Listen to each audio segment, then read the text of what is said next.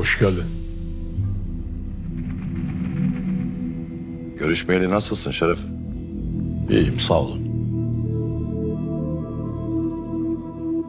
Sağlığın saatin yerinde. Çok sağ olun Emin Bey. Şu an için her şey yerinde. İşlerin halinde. İyi. Gene jantisin. Eyvallah.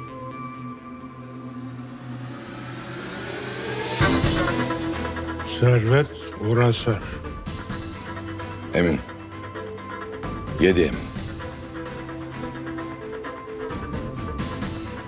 Demek bizim dünyamızda kulaktan kulağa dolaşan yedi emin sensin ha?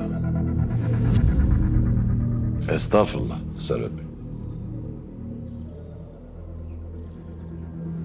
Açıkçası aylar önce polisle girdiği çatışmada öldürülen biri için fazla sağlıklı görünüyorsun. Servet Bey. Dünya bir gündür. O da bugündür. Toplantıya geçelim.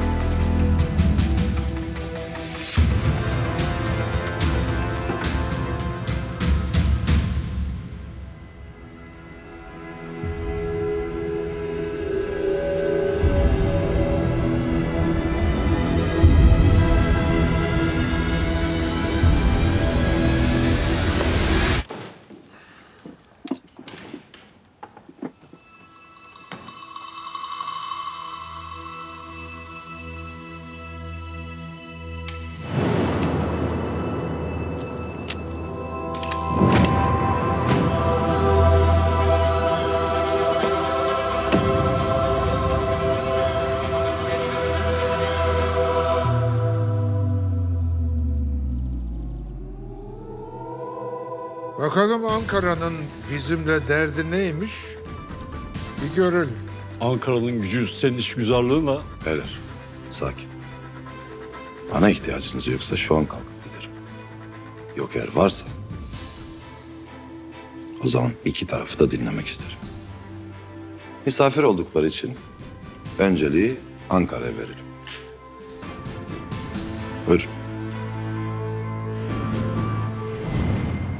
Sonrasında da işte olaylar çıkmaza doğru gidip husumet büyüyünce güvenilir bir arabulucuya gitme fikrinde mutabık kaldık.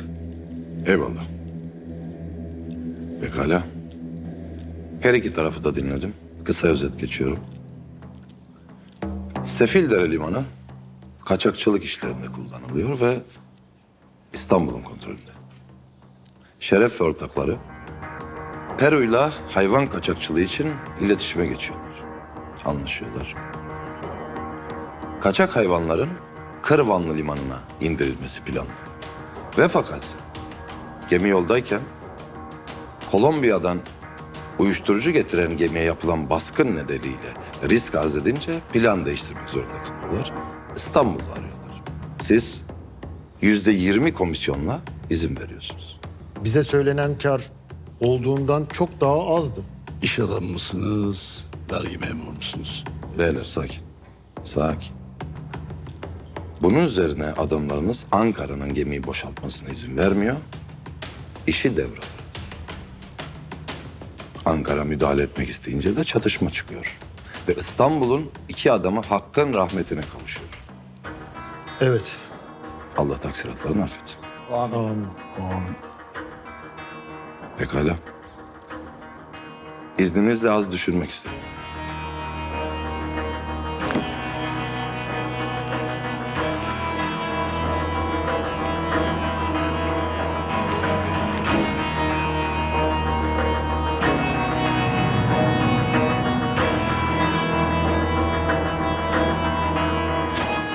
Bilirsiniz meşhur örnektir gofret örneği. Gofreti nasıl bölüşecekleri konusunda mutabık olamayan iki kardeş babalarına danışır.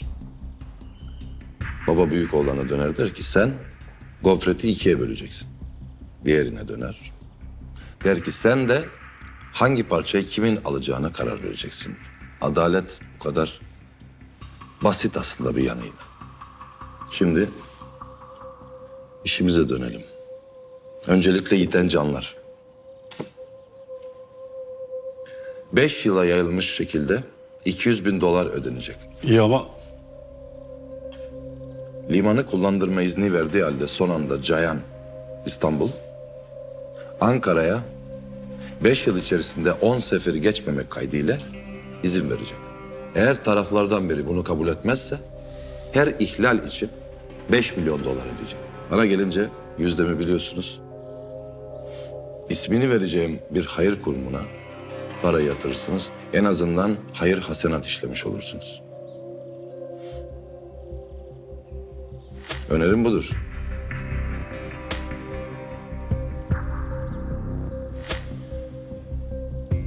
Karar sizin. Bunu kabul edebilirsiniz ya da reddedip kaldığınız yerden birbirimizi yemeye, öldürmeye devam edersiniz beyler. Ne diyorsun Şeref? Bence makul bir anlaşma. İskender sen benimle dalga mı geçiyorsun? Kendi yaptığımız bağlantının karını bunlarla paylaşıp bir de geberen adamlar için tazminat mı ödeyeceğiz? Arabulucuyla pazarlık olmaz. Hele bu yedi eminse hiç olmaz. Tamam diyelim gitsin. Zaten başka yol da yok. Ben öyle kolay kolay teslim olmam.